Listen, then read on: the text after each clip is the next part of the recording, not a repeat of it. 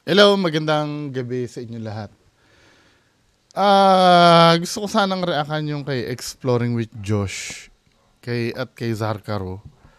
Kaya lang sobrang haba, sobrang haba na video, min. Pero maganda, maganda yung nakunan. Doon mo makikita na na hindi madali makipag-communicate sa sa patay. Ah, I'm so tired. Ah, so ito yung ano next re-react natin na video. Ang title ay Real Life Nan daw ng Kalapan. So panoorin nga natin to men. By now, alam niyo na siguro yung reason kung bakit ah, ganito ako mag-react ng ng video.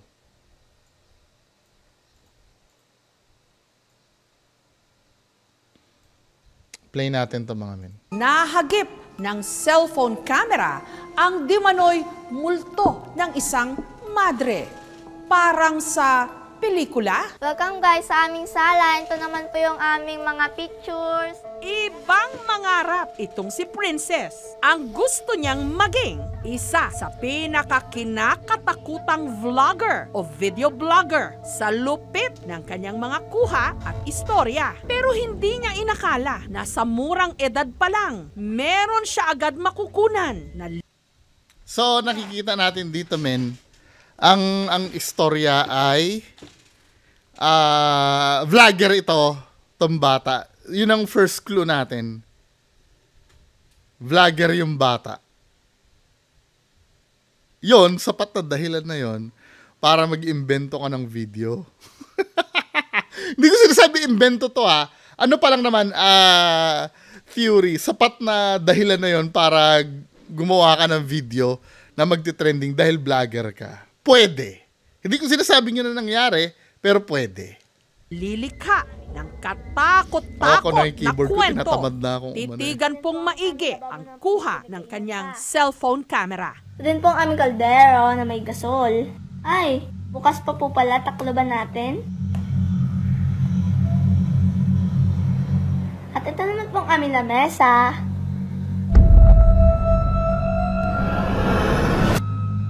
Ang nakot on camera, parang babaeng nakaitim. So, ito yun, ano, i-review nga natin mga men.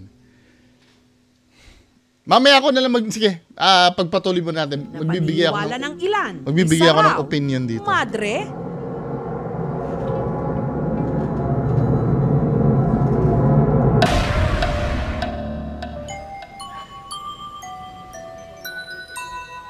Ito po ang aming kaldero. Ito naman po ang aming kalan na may gasol. Nandun na po ako sa may part ng kusina. Ito po ang aming lamesa.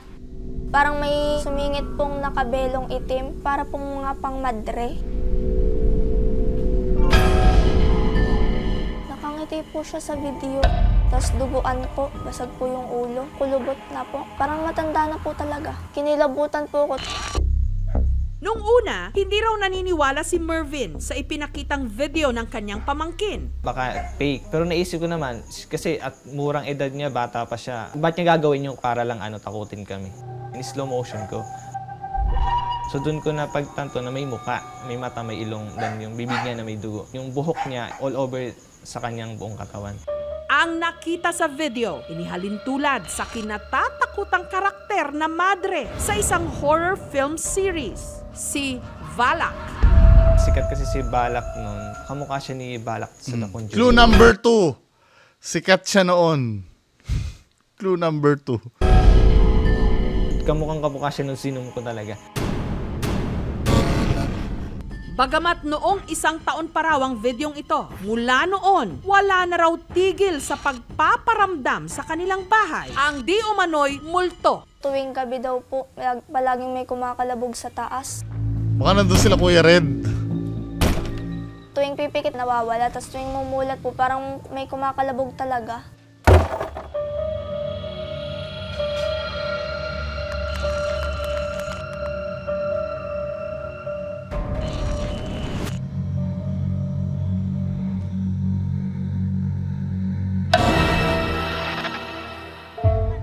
Sa kusina na kunan ang pinaniniwalaan Tapos kumakalabog sa multong taas? madre, si Princess, dala ng kanyang pakot. Lagi na daw nagmamadaling kumain. Dahil po kasi ako minsan natatakot rin po pag ako lang po mag-isang kumakain.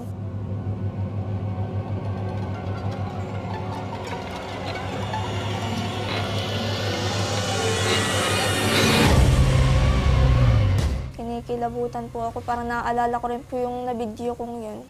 Nung nalaman ito ng isa sa mga kapatid ni Mervin na si Thor, hindi na raw ito nagulat. Matagal na raw kasi niyang nakikita ang di manoy madring multo sa lumang bahay pa lang daw nila. May na-experience na rin naman namin sa dati naming bahay. Talagang marami rin na rin ako nakita doon at na-experience. Dating nakatira ang pamilya ni na Princess sa Ilaya, sa Calapan City, sa Oriental, Mindoro. Pero taong 2002, may nabili silang lupa na siyang kinatitirikan ngayon ng kanilang bahay. Feeling may dadaan sa likod ko, sa peripheral vision ko. may Wait, wait, wait. ako Ano, anong kinalaman ng lumang bahay nyo do sa bagong bahay? Hindi ko gets. Nung nabili ko kasi ito, lupa, halos kasing taas ng tao ang mga damo. May mga puno, sukal siya. Tanda ko merong isang punso. Tatabasin nyo lahat ng mga damo dito ha. Basta't ito, wag na wag nyong gagalawin. Tinatag siya nung karpintero na sabi ko, huwag galawin. Napunta na sa ano yung madre, ano, sa punso. Pagkakatanda ko dun sa malapit sa CR namin.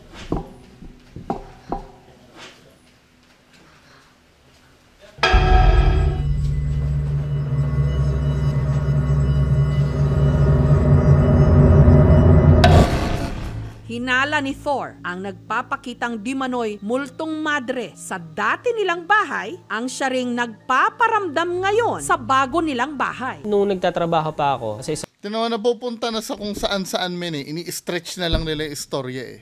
isang fast food, late na ako umuwi.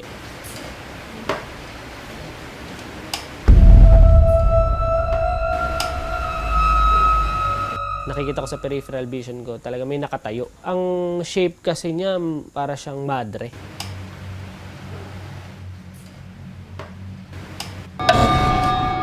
Yung nakita Siyempre, ang, ang sasabihin na naman ng mga mga ano dyan, yung mga maniniwala, no? Sasabihin niya, o bakit ika yon meron nang nakikita. Kwento lang ito nung ano eh. Wala namang proof do sa kwento niya eh. Gigalit na naman kayo. May nagigalit na naman doon ko na na-confirm na siguro May nagtanong kagabi, wala naman nagagalit bungo eh. Basahin mo yung mga comment section, may nagagalit. Siguro yun na nga yung nakikita ko sa peripheral vision. Pinagpe-pray ko una-una ingatan yung family ko. Kung ano man yung masamang elemento na nasa bahay namin. Palagi ko pinagpe-pray na paalisin ni Lord. Otherwise, huwag kaming saktan or gambalain. Pero multo nga ba ang nakita sa video? Kung multo, kaninong kaluluwa? Wait lang ha, hindi ko pa napapanood to. Pero, ay si Jade Martin pa. Friend ko to si Ma'am Jade Martin. Deads na yan eh. Gusto kong magtirik lang ng kandila. Walang ritual-ritual anything. Bilang Nama- pagpapakita lang Alam mo si Ma'am Jade Martin namatay kasi ah, may uoperahan dapat yan eh. I don't know kung saan. Alam mo to, Sir Jack Pati, no? May uoperahan yan eh. Kaya lang hindi niya yata na-survive yung ano, yung operasyon niya. Kaya namatay siya. sa kanila kung meron mang spirit. Gusto lang namin malaman kung may kasama kaming iba ngayon dito sa lugar na ito. Maari lang po sana magparamdam kayo. Meron ako nararamdaman presence ha, kaya lang hindi ako sure kung ano. Meron ako mga napipick up na message. Gusto niyang bumalik sa pinanggalingan niya. Ang problem is, paano niya siya ibabalik? Yung video kasi, maaari naging paraan niya yung para magparamdam. Kasi kung Parang ano, ang nangyari, may kwento na kay Ma'am Jade Martin. Kasi alam niya na rin pati yung video eh. Ito yung sinasabi ko kadalasan. Hindi ko sinasabi fake si kaibigan ko si Ma'am Jade Martin. Sumalangit nawa yung kaluluwa. Ito yung sinasabi ko kasi minsan. Para mawala yung alinlangan at yung contamination, pag magpapaimbestiga kayo sa sa isang may third eye or kahit sino, huwag kayo magkakwento. Kasi sayot sa gusto nyo, makukontaminate na yung ano eh, yung findings nun eh. Hindi naman sa sinasabi nating ah, pagbibintangan natin na sinungaling yung yung may third eye or ano. Basta wag, wag lang kayo magkukwento para wala ring masabi yung mga nanonood. Or ako lang yung walang masabi ba? Hindi naman tayo na-curious, hindi natin aalamin kung ano yung message galing sa kanya. Hindi siya taga dito. Galing siya doon sa dati yung linirahan. Nasumunod lang kasi nadala nyo. Either dumalaw kayo doon, may dala kayong sasakyan. Sa pagbalik nyo dito, sumabay siya. Nakwento na kay Ma'am Jade Martin yan. I'm so sure.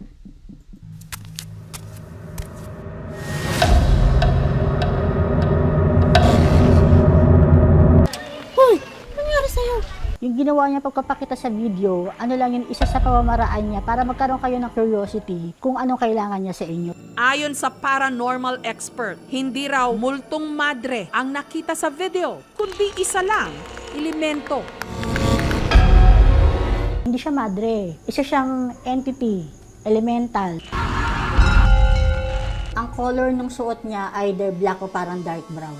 Nakita ko lang yung part ng noo niya. Hindi ko nakita yung face kasi nakatungo. Tapos ito yung part ng damit niya na parang mukhang kumot na nakataklob. Kung napapansin niyo, madalas akong tumitingin doon sa area na yon. Kasi doon siya nagpapakita. Meron mga pelikulang lumalabas na may horror character na madre. So madalas pag kami nakitang ganun, yun agad yung na-anticipate ng mga tao. Nagkaroon na tayo ng parang stereotyping na pagka may entity na nagpakita na nakaitim, automatic ang interpretation natin bad, evil. Hindi naman, in sorrow siya, nalulungkot siya. Kung iisipin ko na pinwesto yun, malaki ang chance na, na nilagay nila yung bata doon. Tinry namin i-adjust yung video using the software. Upon zooming in, it's an alien skeleton face. And the detail Mas- was so good. If the phone is that bad, bakit pagpasok doon sa muka, it was so good. So, ibig sabihin, yung pixels na nasa labas is hindi pareho doon sa pixels na nasa muka. Sabi ko po sa kanila, hindi po yun gawa-gawa lang. Hindi siya nagsisinungaling. Actually, umiyak na siya nung nakita niya yon. Magdamag nga raw na hindi nakatulog. Siyempre, kakampi niya, anak niya yun. eh. Petsa naman ni Thor, ang di umano'y elementong nagpaparamdam sa kanilang bahay ay may kinalaman sa hindi pa nila pagpapabendisyon ng kanilang bagong bahay. Ever since na tinayo yan, hindi pa namin napa-house bless. Feeling ko naka-costume yun. Tingnan nga natin yung ano. May nabibiling costume na ganito eh. Mukha siyang alien daw, di ba? Tamo. Video using the software. Upon zooming in, Di ba? May, may mask na ganyan na nabibili sa Shopee eh. Tingnan natin ha.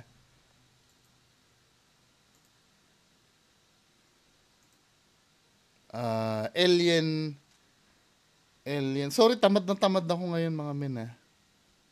Alien Shop Shopee Mask. Tingnan natin ha kung lalabas.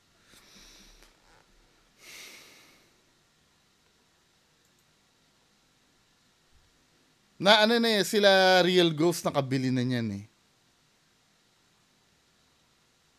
Shopee. Sa Google yata makikita yung wait lang. Mag-open tayo ng Google Chrome. Kasi Brave browser ang gamit ko eh.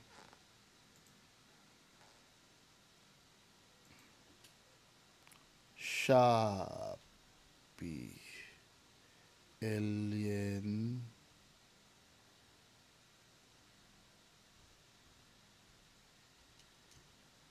Mask.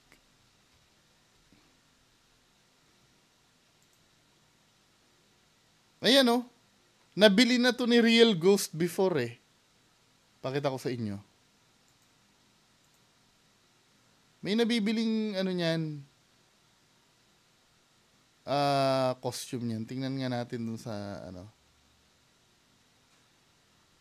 Shopee. O sa mismong Shopee. Kaya lang maglalagin pa yata ko. Whatever. Na ano na ito. Ah, tingnan natin kung eh magpapalagin pa kasi eh. Anyway, mga kababayan ko. Ah do the math ano. Yun na yun. Then ito napapansin ko eh. Ulitin natin yung video ha. Yung mismo video. O opinionan ko na to. Titigan po So ito yung video, i-play natin. Maigi ang kuha ng kanyang cellphone camera. Ito din po ang aming kaldero na may gasol. Unang-una, yung vinavlog niya, ah wala namang kwenta.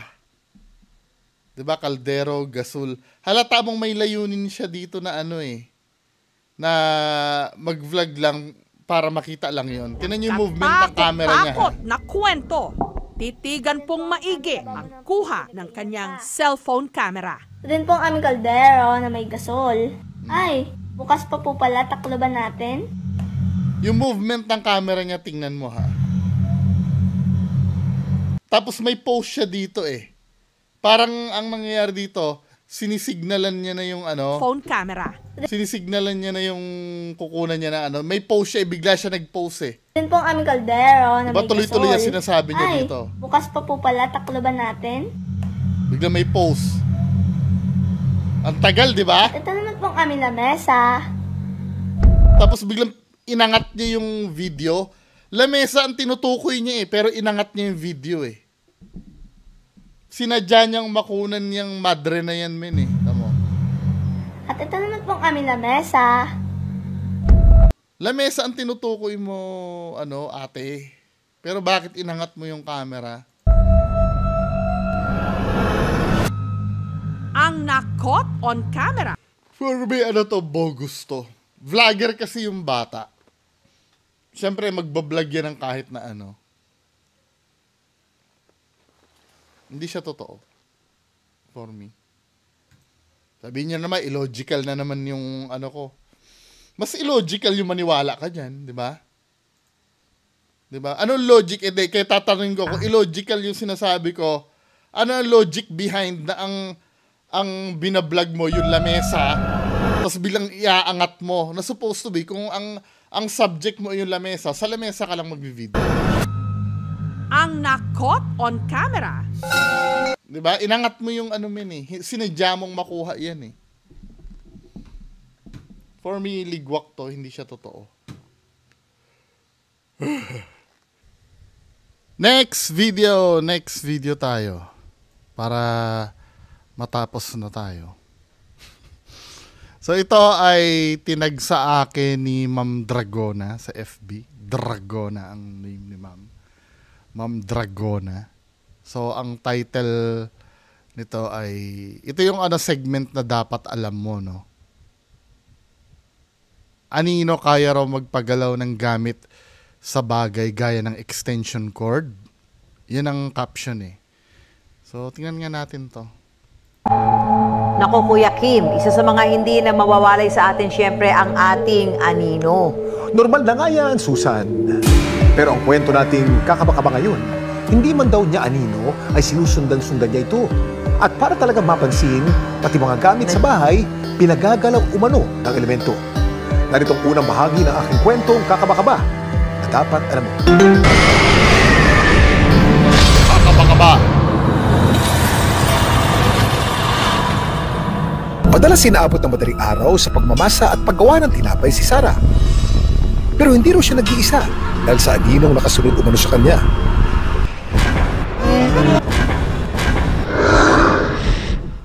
At elemento na nagpapagalaw daw ng extension cord sa kanilang bahay. Namamalikmata o may kasama nga bang ibang hindi nakikita si Sarah? Sa pinagalaw extension cord, nakita niyo yung ano? Na babalikan ba yung ano? Tingnan nga natin. Paggawa ng tinapay si Sarah. Pero hindi raw siya nag-iisa dahil sa aninong nakasunod umano sa kanya.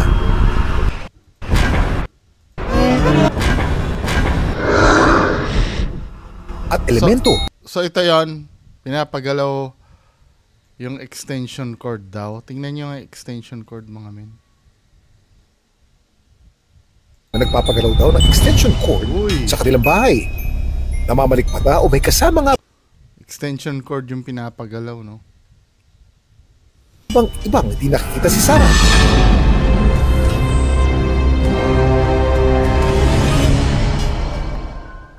Sanay raw na inaabot ng madaling araw si Sarah sa paggawa ng tinapay.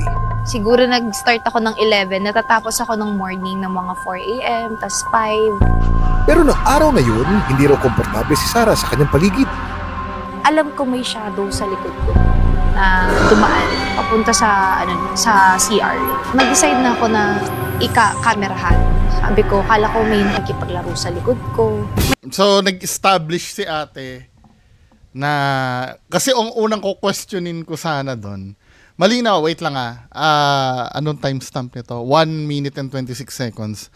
Ang i-establish ko sana dito, wala sanang iyakin, ano.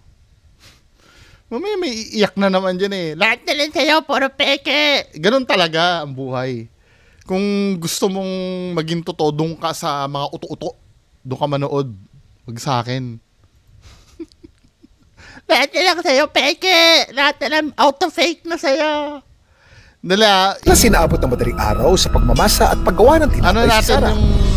ah, Pero hindi raw siya nag-iisa dahil sa aninong nakasunod umano sa kanya. Yung... May kasama nga bang ibang hindi nakikita si Sarah? Dahil lang, na, napa, napanood na ba yung ano, yung, yung video? Wait lang ah. Gusto ko lang ah, makita yung video. Kasi gusto ko establish muna na yun ay hindi CCTV. Ang unang komento ko doon. Kwentong kaka... Madalas sinaabot ng madaling araw sa pagmamasa at paggawa ng tinapay si Sarah. timestamp ba yun? Pero hindi raw siya nag-iisa dahil sa aninong nakasunod umano sa kanya. Namamalik Ito, yan, na yan, yan, kas- yan. So, pinakita yung footage, no? At So, ito elemento. yung footage. Obviously, hindi ito CCTV. Di ba? Kasi masyadong narrow yung kuha eh. Ah, feeling ko ito ay cellphone camera. Ang unang tanong ko kasi, kasi hindi ganyan din ang ano, positioning ng CCTV eh. Kapag ka maglalagay ka ng CCTV, dapat kuha yung buong area. Tsaka masyadong mababa yan sa CCTV. Ang unang tanong ko sana dito kanina, ah, bakit ka nag ano, bakit ka nag-video? 'Di ba? Un- until now, ito ha, walang iyakan. Kung ayaw niyo na sasabihin ko, okay lang naman na hindi kayo manood. 'Di ba? Ang ang unang tanong ko dito, expected niya na kasi na may mangyayari dito eh. Kasi yung framing niya, yung framing niya, talagang may nakalaan na space para dito. Dito sa left side. 'Di ba? Well, kinda na nalusutan niya naman yung pagdududa ko doon sa sinabi niya dito. Kasi 'di ba makikita mo diyan, na nagpapagalaw daw ng extension cord. Ah, gumalaw yung extension cord. Ayan o, makikita naman natin yan eh. Gumalaw yung Sa extension cord. Ang, ang unang pagdududa ko kasi dito, kaduda-duda yung positioning ng camera eh. Parang alam niya na agad na may mangyayari banda rito. Pero, nalusutan niya naman, na-explain niya naman dito, dito sa sinabi niya. Pero ng araw na yun, hindi raw komportable si Sarah sa kanyang paligid. Alam ko may shadow sa likod ko na dumaan papunta sa ano sa CR. Nag-decide na ako na ika-camerahan. Sabi ko, Diba? Doon siya nag-start mag-camera. Valid naman yon for me. 'Di ba? Kasi kung kung hindi niya may explain kung bakit siya nag-camera, debunk na agad to para sa akin. Kasi out of nowhere magka-camera ka, 'di ba? Pero na-explain niya naman eh. Oh, 'di ba? Wala mo nang iyakan ha. Wala mo nang iyakan. Lusot naman si ate doon. 'Di ba? Kasi ang unang ko questionin ko, bakit ka nag-video? Bakit alam mo ba na may mangyayari agad 'yan? Ang explanation niya, ah, may nararamdaman na daw kasi siya ng mga shadow shadow.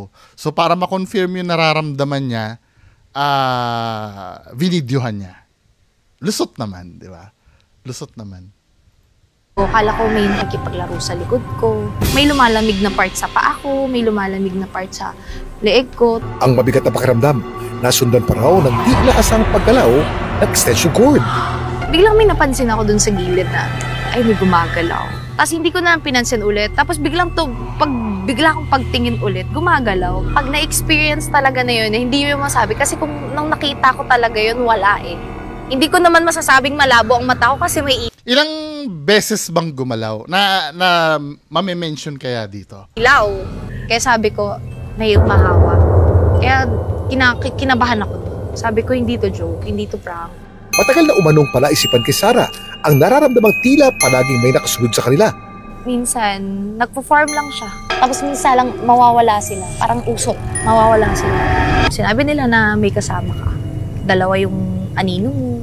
Kahit mama ko, ba- basta sinabi nila lalaki ang kasama. May moment yung mama ko na natutulog daw ako. Sinabi niya na may nakaupong lalaki. May nakaupong lalaki sa paahan. Sa kalagitnaan ng interview, natigilan si Sarah. Sumakit yung ulo ko. Promise. Nailo ko. Bebo.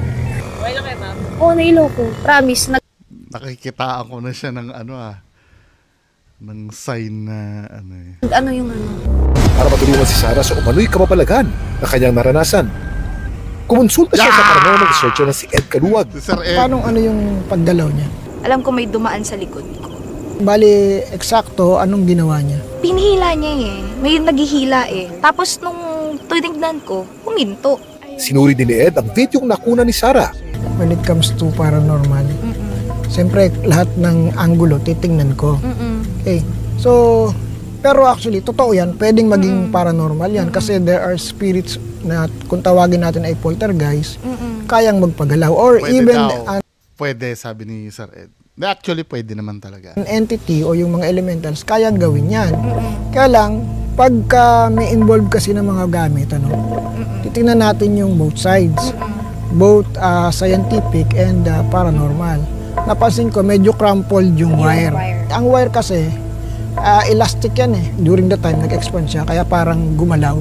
Pero kapag meron ng movement na pinipick up na, na walang na, hindi nakikita, Hindi, actually, tama si Sir doon. Kaya nga lang yung, wala naman tayong movement na, ano eh, ah, nagde-defy ng gravity eh. Yung umaangat. Di ba? Puro hila. At doon papasok yung skepticism ko. that means uh, may ibang force na doon. Kasi hindi naman kusang tatayo ang wire. Tumayo yung balahibo ko. Biglang tumayo yung balahibo ko. Wait lang. Medyo ano si ate, off off yung ano ko kay ate eh. Parang lahat minibig deal niya men eh. Madalas sinaabot ng madaling araw sa pagmamasa at paggawa ng tinapay si Sarah. Pero hindi raw siya nag-iisa dahil sa aninong nakasunod umano sa kanya.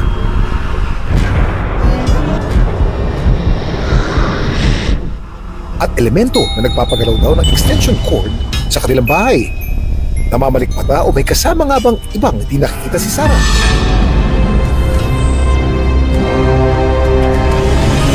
Pinuntahan ni Ed ang lugar kung saan kusang gumalaw umano ang extension cord. So walang any forces na naririto para magpagalaw nito. Dalawa kasi yung ah, duda ko. Pwede itong bahay mismo ang merong ah, existing na entities or si ma'am mismo yung sinusundan. Aalis kami dito, nabili namin si ma'am somewhere para ma-prove natin si ma'am ba talaga yung sinusundan o talagang narito sa bahay nila. Gamit ang REM pod o psychic device kung saan maaari ding matu- Shout out Sir Lance! Galing kay Sir Lance yan! Malupit na ang device ni Sir Ed ngayon. Kuy kung may aninong dumaan sa paligid. Sinubukan ni Ed na tawagin ang aninong sumunod umano kay Sarah. Kung ikaw yung spirito na nagbabantay sa taong ito, maaari ka bang lumapit dito sa amin ngayon? Sir, wait lang. Sir, wait lang. Bakit? Wait lang. Bakit? Wait lang. Bakit? Bakit? Ano? Wait lang. Bakit? Bo! Ano nangyari? Bo! Medyo ano, off ako kay ate. Kasi hindi naman binabalidate ng REMPAD yung reaction niya eh. Hindi, tingnan natin assessment ni Sir Ed ano, sa paranormal side.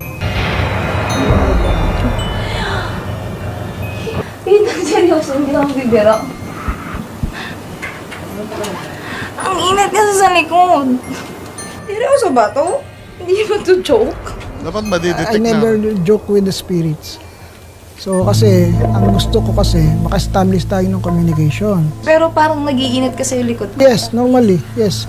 Natural yun. Kasi nakikipag-communicate tayo eh. Para Medyo- mapanatag si Sarah, gumamit din ng ghost box. Parang, ano eh, no? Parang naiirita na rin si Sir Ed, eh, no? Hindi, tingnan natin yung resulta. Pa, ah, mag, magkakaroon ng sarili kong, ano, ah, opinion dito. kung saan posible umanong marinig ang sagot ng mga di nakikitang nilalang. Yung batang lalaki, bakit? Sino siya? Batang lalaki. Lagi kang nakasunod sa kanya. Kilala mo ba siya? Saan ka nang galing? Okay. Sa kanila daw. Sa kanila. Ano, sa kanila. Ikaw ba yung kumawa, humila nung Extension cord. wire habang nagluluto siya? Opo. Ano ang tawag mo sa kanya? Ate. Uy. Uy, dilig ba? Nakikita ko yung mukha ni ate, parang, ano siya eh. Mukhang alam niya sa sar- Wait lang ha. Sige, pagpatuloy muna natin. Eh, sabi nga ate. Inala ni Sarah, posible umanong itong yumao niyang nakababatang kapatid. More or less, mga ilang taon na siya supposed to be ngayon. Mga nasa 20s din siya. Ah, malamang, ang gusto ka lang niya laging bantayan. Sino yung mga laging nakakaalala pa sa kanya? Actually, ako na lang. Parehas kami ng month birthday. Nakaka-attract ka.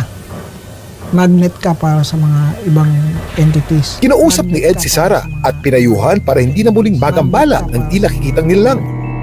Dahil si Parang ate, may anino dun sa taas. magnet ka para sa mga Eh, bandang ibang taas. Ano yun? entities. Ano yun? Kinausap ni Ed si Sarah at pinayuhan para hindi na muling magambala Eh, ng di taas. nakikitang gumalaw. Anyway. Dahil si ate ay open siya, I mean, mataas yung level ng sixth sense niya, nakaka-attract siya ng mga entities. Kaya hindi imposible na merong mga ganong incident sa kanya. Yung hila na pataas, yun, pwede kong i-consider yun as paranormal dahil baliktad yung pool eh, pataas instead na pababa. Huwag pa rin natin itong katakutan at unawain pa rin natin, intindihin natin na may mga bagay talaga nangyayari na hindi lang natin kayang ipaliwanag ng biglaan. Kung may kakaiba kang maranasan, huwag ito agad katakutan. Kumonsulta sa higit na nakakaalam para mabigyan ito ng kasagutan.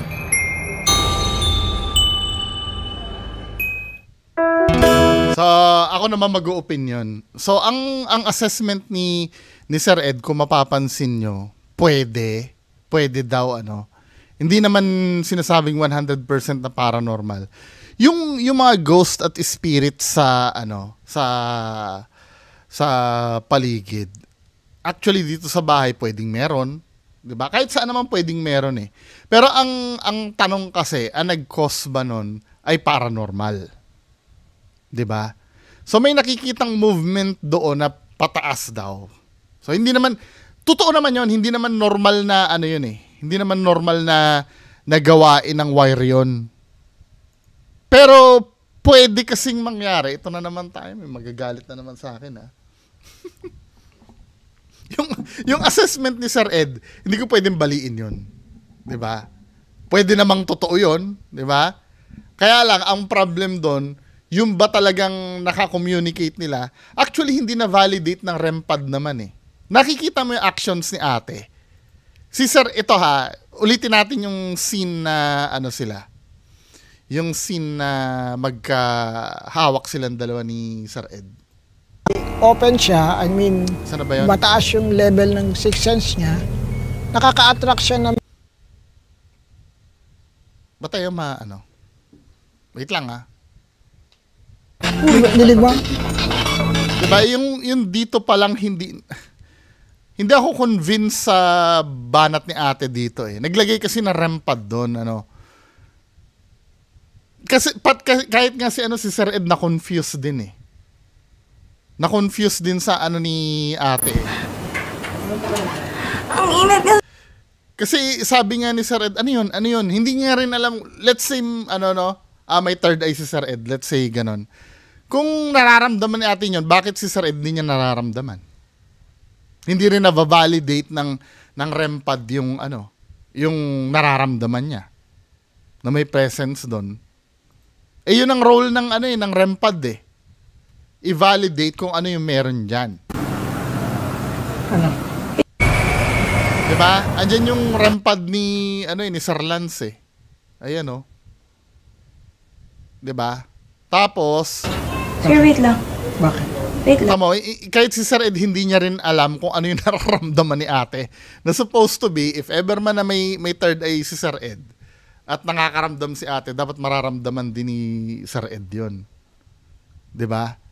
Pero yung ano, yung yung nagsalita sa spirit box or ano, 'di ba? Pwedeng naman paranormal 'yun. Kaya lang I do believe 100% na hindi involved doon yung paggalaw ng wire.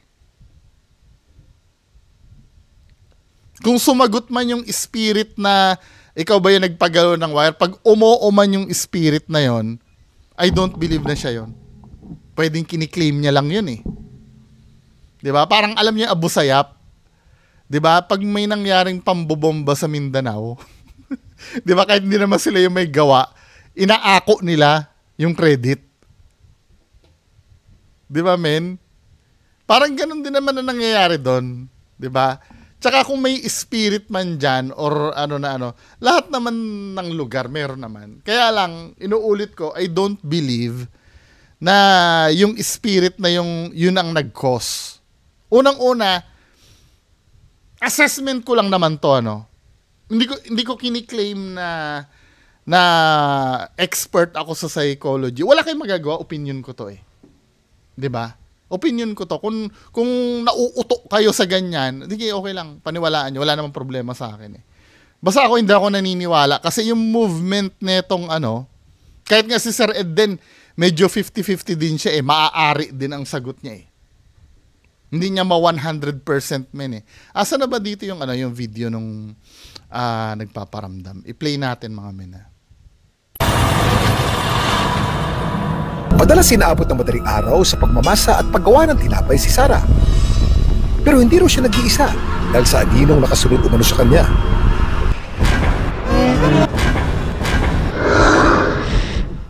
At ito, ito, ito, ito na yung video, no? For me, di ba? Tingnan natin yung buong ano. Sa akin, na-mention ko kanina, na ilusot niya naman yung reason bakit siya nag-video. Di ba? Sabi kasi ni ate, nakakaramdam kaya daw siya nag-video. Ngayon, for me, kasi hindi mo naman madidetermine kung saan ano eh, kung saan magpaparamdam yan eh.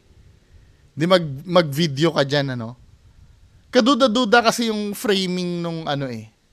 Framing ng ah ng camera na dito banda rito no. 'Di ba? Kainda, 'di ba? Parang alam na alam na ko sa magpaparamdam eh. Pangalawa, dalawa sila dyan eh. Dalawa sila, may, may asawa yata siya or may boyfriend siya kasama. Nasaan yun? Pwede natutulog, ano? Pwede naman sabihin na na natutulog. Ngayon, it, ito yung kasi yung punto ko every time na nagde-debunk ako, sisilipin ko lahat ng, ng possibilities. Huwag niyo sasabing illogical ang ginagawa ko. Ako nga yung nagbibigay ng logic eh sa sa mga nangyayari dito eh. Ako yung nagpo-provide ng ng possible logical explanation. 'Di ba? Sa tingin mo ba mas logical 'yan yung maniwala ka bigla na umaangat-angat yung wire? Illogical, yun ang illogical. Hindi itong ginagawa ko. 'Di ba? Ang ang inaano ko lang dito, ah hinihilot ko lang yung mga brain cells nyo na mag-isip kung paano mangyayari itong ganitong bagay. Tandaan nyo, yung ano, yung ito, yung movement niya, tinan mo yung movement niya ha, Elemento na nagpapagalaw daw ng extension cord sa kanilang bahay. Uniform ang movement niya, men eh. Uniform yung movement nung... At elemento na nagpapagalaw daw ng extension cord. 'Di ba? Iisa yung pattern ng movement ng ano eh, ng cord eh. Pwede kasi mangyari tinalian 'yan. Kahit sinulid, tandaan mo ha, grainy yung film. Virtually invisible ang ang tali sa ganyang uri ng camera. Marami na nating ah, maraming beses natin na prove 'yan. Meron akong example niyan before eh. Ay ito, nakita ko na to. nakita ko na to mga men ha, yung ano yung yung video. Ito yung video ko before. Dito sa video na to, sinubukan ko yung theory kay kay Linyo kung paano magpagalaw ng isang bagay na ano, na may tali. Ti- kita nyo, virtually invisible yung tali kasi dyan. Pero kung mapapansin nyo mga men, 'di ba? Ang ginawa ko dito, ito yung laruan. 'Di ba? Gumamit ako ng ng sinulid diyan na puti. Hindi talaga makikita 'yan. So meron na tayong proof na pwede mangyari 'yon. 'Di ba? Sinulid ang ang ginamit ko diyan. Ako 'yan oh, sinet up ko nga 'yan men eh. 'Di ba? Kasi nga, dinemonstrate ko kung paano yung ginawa kay Linyo before. O, nagigets nyo na? Pwede kasing mangyari, katulad niyan, ano? Katulad nito, wala kayong nakikitang tali, malinis eh. 'Di ba? Tapos biglang gagalaw yung ano, pag hinila mo, hindi mo mapapansin yung tali. So tama ako, 'di ba? Pwede. Pwedeng mangyari dito. O ngayon, ano pa ang indication dito na ganun yung nangyari dito sa video na to? May kasama niya yung asawa or boyfriend niya. Nasa na yung boyfriend niya? Siyempre, pwede na maipalusot na natutulog eh. Ano ang proof natin na natutulog yung boyfriend niya ng time na yan? Ano ang proof natin na wala dyan yung boyfriend niya? May CCTV ba? Na nakikita ang buong bahay? Yung likod ng camera ba? Hindi nakikita ba natin? Just like this one, oh, dito sa, dito sa demonstration ko, ito yung final product eh. Hindi nyo naman ako nakikita dyan, di ba? Pero gumalaw yung laruan. Di ba? Na-replicate ko na pwede pala magpagalaw ng bagay eh. Hindi ba applicable din yan dyan sa nangyayari dito? At yung movement ng wire niya, oh, hinila. Di ba? Ilang beses na hinihila yung, yung wire eh. Tinan nyo ha, izozoom ko ng maigi yung, yung wire. Iisa ang movement eh. O, hinila. Hinila uli. 'Di ba? Dalawang beses na hinila sa, sa same direction. Maniniwala sana ako, hinila ng ganon, biglang tumalsik yung wire pabalik. Pwede na, paranormal yon. Pwede. Pero yung isang beses hinila, tapos hinila uli, I don't believe na ano to. Bibigyan ko naman ng benefit of the doubt, mga 10% pwede maging paranormal. Pero I'm so sure, 90% hindi to paranormal. Or 95% hindi to paranormal. Magalit na kayo sa akin kung magalit sa akin. Kasi ang daming red flag eh. Oh, next pa. Yung ano, yung mga kwento-kwento ng anino. Nagkaroon ba ng anino doon sa ano? Sa video? Di ba? Kwento na lang yung anino men eh. Wala naman na prove na anino doon eh. Ako pa nga mismo nakakita ng anino na na parang umaano pero I don't know paranormal yun, di ba? di ba? Wala rin yung anino. Kasi parang ano na lang, betchy na lang yun doon sa kwento eh. Kasi hindi kasi pwedeng umikot doon sa, sa wire na gumagalaw lang yung istorya. Kailangan gumawa sila ng supporting doon sa, doon sa istorya ng wire na gumagalaw. Kaya doon na pumasok yung mga anino-anino na, na wala rin naman proof din. 'Di ba? 'Di ba yung yung yung attitude pa ni Ate parang I'm so sorry, ah, parang medyo may pagka-epal eh.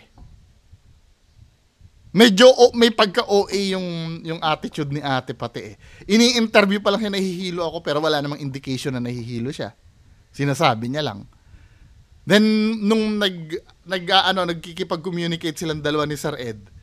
Si Sir Ed walang nararamdaman pero siya may nararamdaman na. Hindi naman binaback up ng rempad. 'Di ba? Kayo, bahala kayo, no? Binibigyan ko naman kayo ng kalaya. Wag nyo, hindi ko sinasabing paniwalaan nyo ako. To make things clear ha, wala akong sinasabing paniwalaan nyo ako. 'Di ba? Ito ay ano ko lang, ah, opinion ko lamang. Nag-provide lang ako ng logical explanation do sa nangyayari. So, yun lang. Ah, bahala kayo no. Di naman masamang maniwala dyan. Huwag nyo lang pilitin yung ibang tao na maniwala dyan. Kung utong-utok kayo dyan, di okay lang. Huwag nyo lang hawaan yung ibang tao na hindi naniniwala na kumbinsihin na na maniwala dyan kung hindi naman naniniwala. Hindi, dahil hindi ko rin naman kayo pinipilit na maniwala sa akin. 'Di ba? Kung iyakin kayo sa explanation ko, wala na akong magagawa doon. Kasi alam nyo men, binigyan tayo ng utak ng Diyos eh. Para mag-isip eh. Sa totoo lang. No? Binigyan tayo ng utak ng Diyos. Ultimo nga yung pipiliing religion, inuutusan ka ng Diyos na nasubukin eh. Inuutusan ka ng Diyos na suriin mo eh. 'Di ba? Kasi marami talaga kahit sa religion mismo, marami talaga naglilitaw na peke. Kaya isa sa mga utos ng Diyos din yan, men. 'Di ba? O basahin natin ha, basa sa unang Juan 4. Ito yung sinasabi oh. Mga minamahal, huwag niyong paniwalaan ang bawat espiritu, kundi inyong subukin ang mga espiritu kung sila'y sa Diyos, sapagkat maraming lumitaw na mga bulaang propeta sa sanlibutan. Mm. Pagdating sa religion nga, nag-uutos din ng Diyos na magsuri eh. Yan pa kaya mga simpleng bagay na ganyan? 'Di ba? Anong pipiliin nyo? Kasi ang sinasabi ng ibang bobo, pagdating daw sa akin, auto-fake na daw. Aba, mas maganda yon Kaysa sa akin, pagka dumating sa akin, auto-paniwala, alin na mas ma... ah, alin na mas maganda? Yung auto-paniwala? Kaya lumubog ang Pilipinas kasi lahat tayo auto-paniwala eh.